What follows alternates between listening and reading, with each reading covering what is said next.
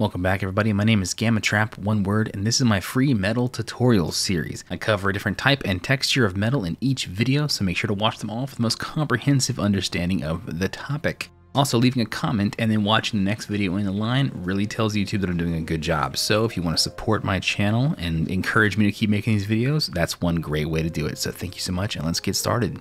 Alright, so in this video we're going to be handling steel or more brushed metal. And now you could use this for something like brass or any of the other kind of like colors of metal that we can get, or even a fantasy color of metal, and for that, for that, for that matter. This is going to be more like smooth metal, more shiny, more not not as shiny as say chrome or I don't know, like polished silver or a mirror, uh, but like a good midway, like pretty shiny, like most armor in fantasy settings or stylized pieces of metal will be probably like steel. Like this, or at least, you know, the the good guy, you know, like armor.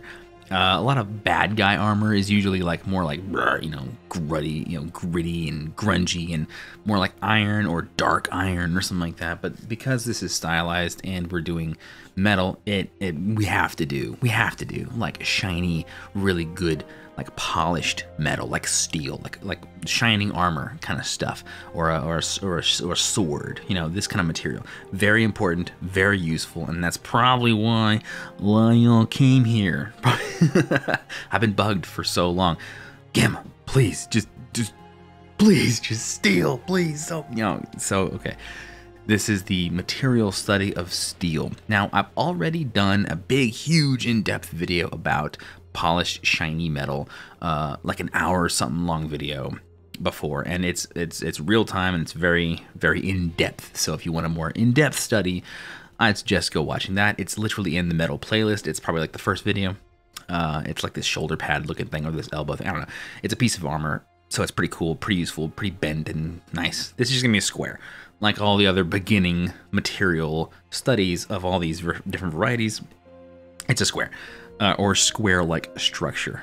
So we're going to be using two brushes as per usual, the hard round pressure opacity and the soft round pressure opacity.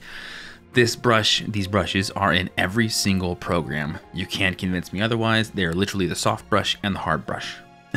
That's it. They might be called whatever they are, but they are in every single program. If you don't know what your brush's name is in whatever program you're on, check the comments.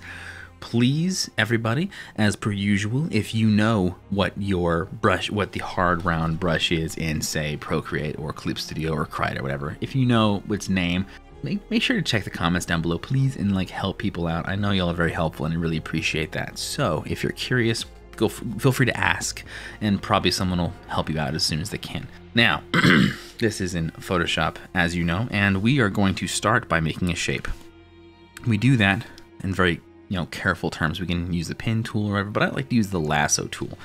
The lasso tool is this little shape up here. It could be lasso or polygonal lasso. That's what we're gonna be using, polygonal lasso tool, because it's just like lines. And this is a square, so lines. Pretty simple stuff. We're gonna start by corner, a little bit up there, but that, a little that, a little that, a little dip down, roughly aligned, and boom. That's our basic shape. Now, go to our brush, run a new layer here. We're going to pick a middle kind of color. Now, this is steel, uh, more, more polished stuff. I'm to move this roughly to the middle. So the colors that we're going to be using are mostly cool. In our iron video we just did, there's a mixture of cool and warm colors because iron has this cool mixture of like, you know, metal, but like little flakes of rust and stuff in there. It's pretty common. But with the polished metal, we're just going to be working on like just mostly cool colors there's less like red, you know, red, warm, orange, yellow. There's less of those colors in the like more fantasy aspect of steel because there's less rust. Uh, steel is very resistant to things like rust, typically, uh, unless you really want to show like age and stuff in like whatever you know scene or scenario you're gonna putting it in. But also because this is more polished than iron, it is also more reflective than iron. So the colors you've got here are gonna be important, you know, based around the environment that this piece of metal is in. This is a pretty cool environment, so we're going to use mostly cool colors. If, for example, though, uh, your piece is in like the desert, you'll want more warm colors, more yellows, oranges, reds, etc. Because the environment, the the sand, the dunes, you know, the sun, most of those are going to be warm colors. But make sure you add at least a little bit of blue in your palette of those desert colors because a huge color is above the sky. at least in like you know typical terms. Our, our sky is blue so make sure you add blue in your warm colors just for the uh, the upwards reflection. But for ours here we're gonna now grab our lasso tool. We got our shape basic you know basic shape in. We're gonna be making a new layer right clicking it and selecting create clipping mask. It's gonna have a little arrow down below and as most of y'all know this makes it so everything we paint stays on the layer that it's clipped to. You're going to grab a corner there, kind of line ourselves up along these two corners, you know, bottom corner and top corner, kind of up here, like so. Find that corner, and there we go. Now we're gonna grab our darker blue, or darker color, in fact. We're just gonna draw that in real quick, just real quick. And you can already start to see the basic like shape we're going for because we've sort of blocked that in. Let's do it again. Grab that corner, find this corner as best you can. Kind of missed that one a bit. There you go. I'm gonna hold down shift, and that lets me add to the selection. Now we're to grab a lighter color. We're going to paint that in on top. So now we can see a perfect little difference, differentiation, there we go, English is hard, of the light, the middle, and the darker sides of this cube of ours. Now the light source for me comes typically from the top left going this way. So that is why this uh, plane is slightly lighter than this plane because this plane is slightly in the shadow, this plane is slightly in the... This plane is the most in light, so that's why it's the brightest. Keep this kind of stuff in mind, it's very important. So because this is brushed, brushed metal, we are going to be doing very kind of broad stuff, uh, but also in a direction. So kind of like how wood works. Um, let's see here. You'll notice there's there's there's these uh, grooves sort of like the grain of the metal. When you're dealing with brushed metal, uh, it is polished in a direction, meaning that the, the blacksmith or whoever was, you know, working on this piece of metal had a, a, a polish or a grinder wheel and files, and they went in a direction. And this is pretty typical of, of your, your, your standard blacksmithy type stuff. Now, there's still gonna be grooves, there's still gonna be notches, uh, but right now I'm just kind of trying to show you like the basic uh, gist of how brushed metal. I'm being very gentle right now, by the way. very gentle. If it went all hard, it'd be like really dark. We don't need that just yet. Very gentle. I'm just gonna put in a couple grooves where necessary, and we're gonna add a couple grooves probably with that direction. All right, now, because this is more polished, uh, it is more mirror-like. So we can actually use pure white uh, if you were so inclined. Uh, let's let's start by putting a nice little bright style line right in the corner here. Just like that. Now, also, a little bit up here.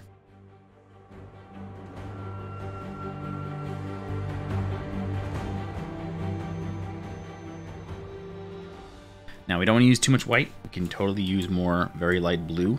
Very, very good stuff. Uh, because too much white washes everything out, and that is reserved for chrome and polished silver and stuff like that.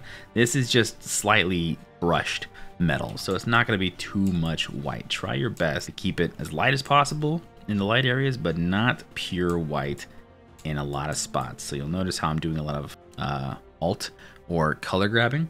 I'm pressing, I'm holding down Alt for Photoshop or, or Option if you're on a Mac, and that lets me pick a color. So I'm color picking.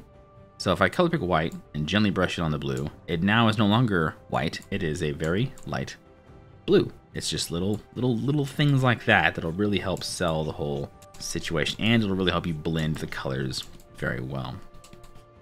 Now, because we like to do our colors first in giant swaths, uh, there is grass here. And this is slightly more polished metal. So there will be uh, a lot of grass reflections.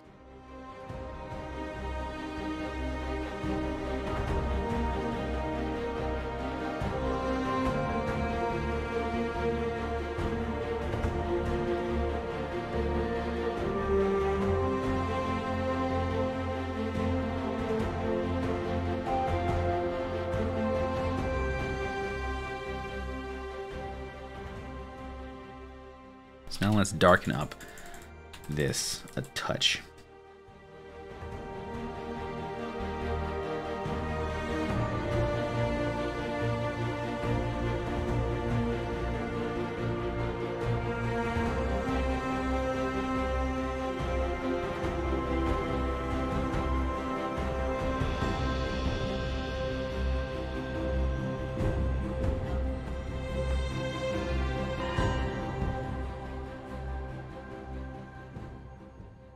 Keep the lighter color near the bottom because of the bounce light hitting the platform.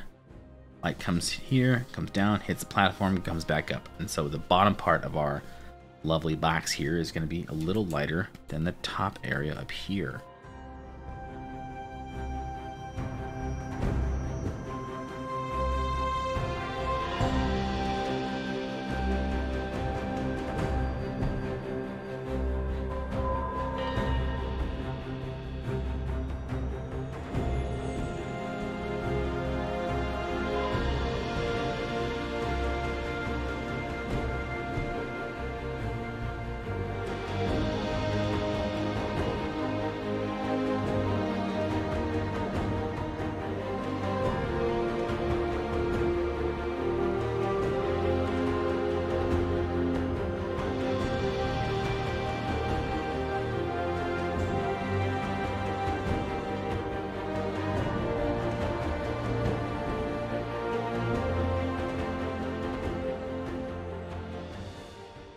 Now, let's add a nice little sheen to it, I think.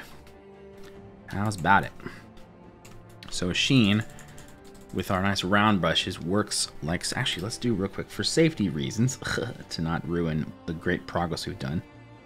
Let's select off the area we want to add this lovely sheen. So keep our brush a little big, grab the nice bright color, and we're just gonna make a S-like shape. I'm a huge fan of interesting shapes because the rules of stylized work are the rule of cool, don't be boring, and shapes within shapes in whatever order you want to say those in. so we are going to make a little S. And we're going to cut into this.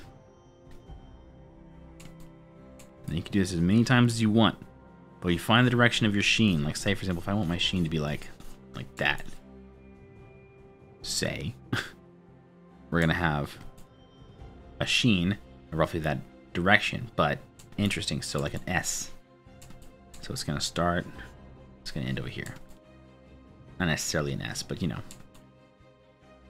Interesting. Curved. Curved.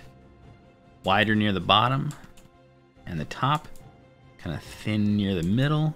Keep pushing and pulling until you find one you like in the direction you're going for.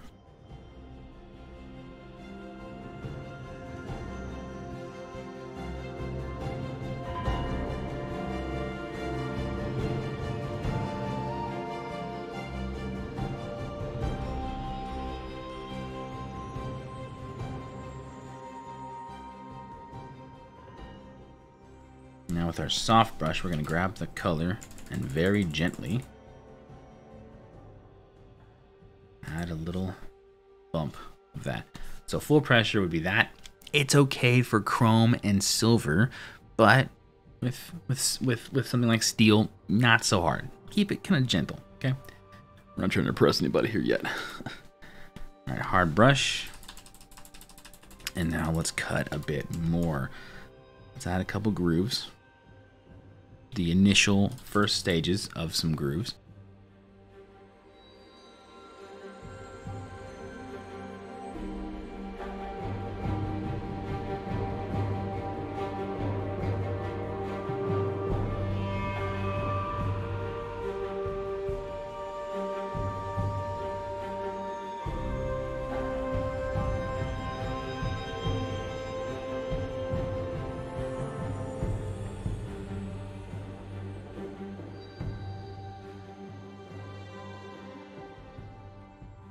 Now with perspective, our brushed metal is going to have a grain. It's going to align with our top section. So they're not going to be one to one. It's going to be pretty close on a steep, you know, angle like this. There are perspective tools to help if you need them. But if you don't need them, that's fine too.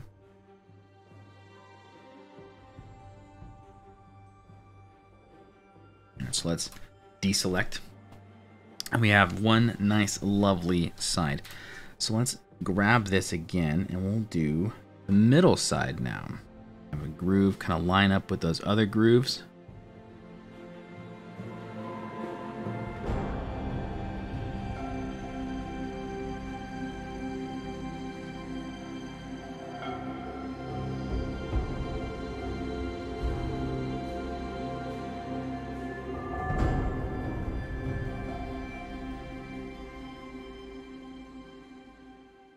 And then we balance by making sure the bottom is more light than the top and the top has a solid, nice, really good. Let's go with that. That's good. That's nice. Maybe a little too dark. That's better. A nice gradient from dark to light. The more you can accentuate this change, the more uh, rich your metal will feel. So the lighter you can make the bottom and the darker you can make the top, for example, the more variation in uh, light you can have, the better. Typically speaking, your metal your metal will feel. Now we can also add a really cool sheen to this, but just in case, I'm gonna make a new layer, create clipping mask. Let's grab our blue. Let's see, what's a good angle for a sheen on the side? Probably something like that. So roughly that direction.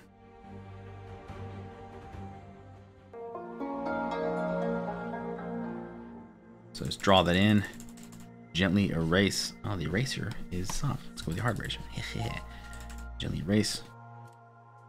Try and make it as line-like as possible where it matters.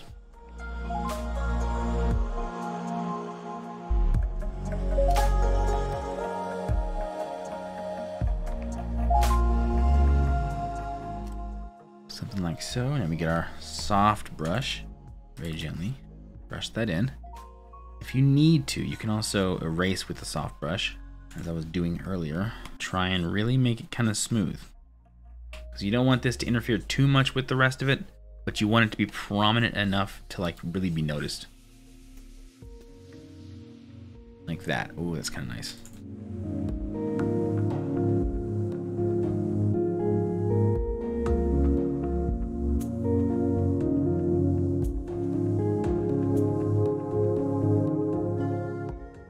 Now, let's get the other side. We're gonna go back to the original layer, hard brush once again. Now, I'm not sure I'm gonna put too much of a sheen on this side because, you know, this, this side's not really facing much light. Just something to consider. I'm gonna brighten up this corner just a bit. Just a nice, good little smidge.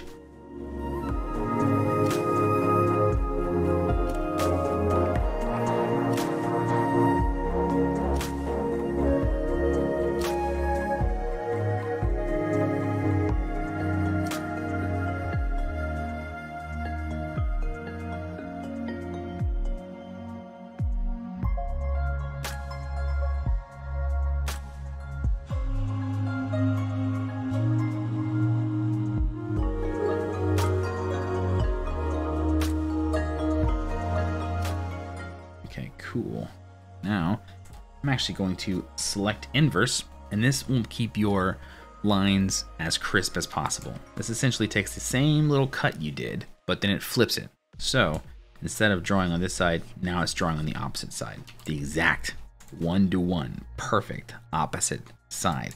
This keeps your selections really, really clean and very cool.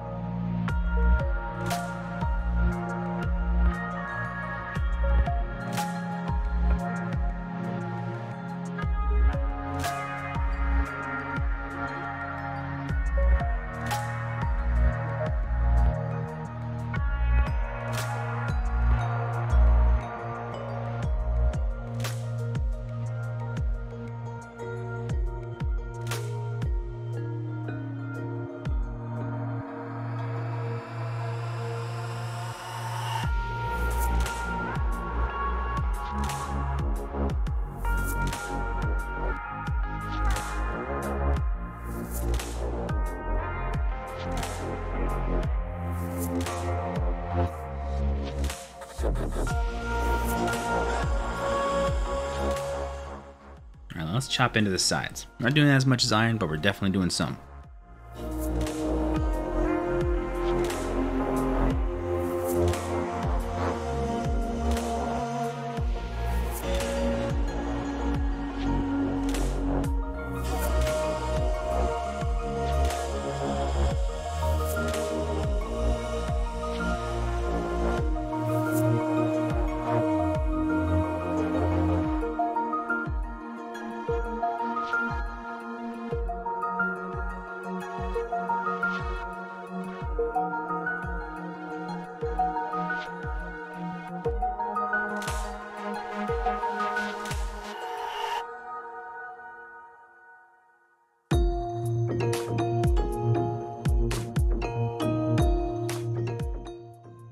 I'm just gonna paint on some of the grass in the bottom.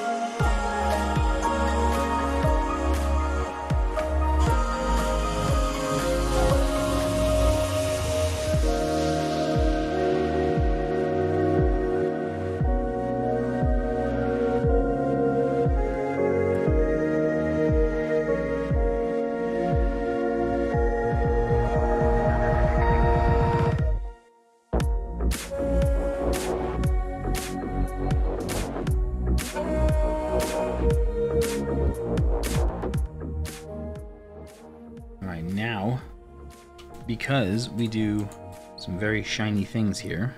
Make sure the edges are good and pure white. Just the edges, you don't want to overdo it, seriously. Overdoing it is never the option.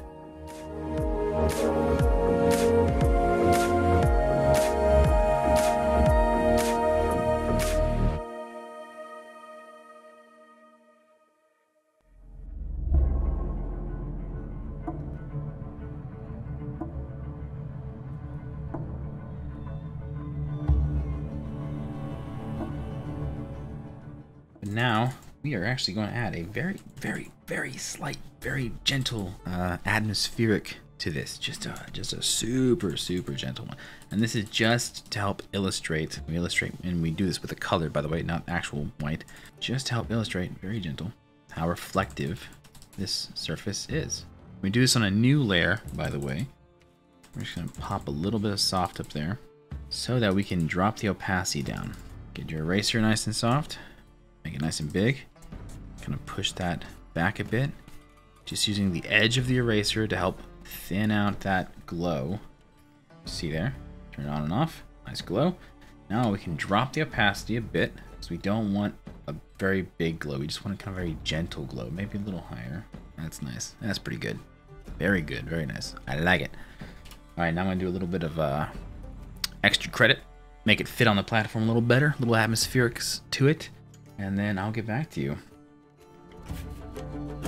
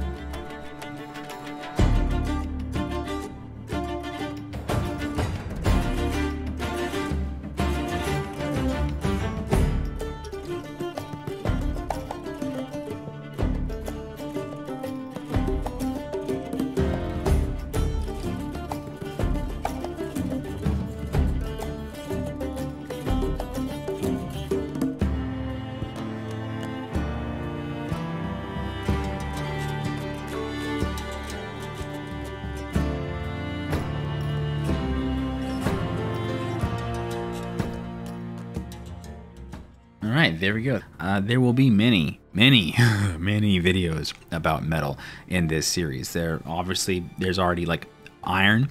Uh, there's gonna be obviously brushed steel. Then there's gonna be really polished steel, which is almost like mirrors. Uh, this one's a cube, but there will be circular ones like spheres to show you what other like bends in metal is in these different types of metal. So there's going to be a, a sphere of iron and rusty and flaky metal. Then there's going to be a sphere of like this brushed metal. Then there's going to be a sphere of really, really polished metal. Uh, then I'm thinking a curved metal surface uh, to help really illustrate how the light tends to work with curves because light and reflections on curved surfaces can get kind of tricky. So I want to really dive into that to help people out who are looking to try and make like armor for like arms, legs, and all that stuff. Uh, then there's going to be like more common stuff like swords, you know, swords and stuff, you know, stuff.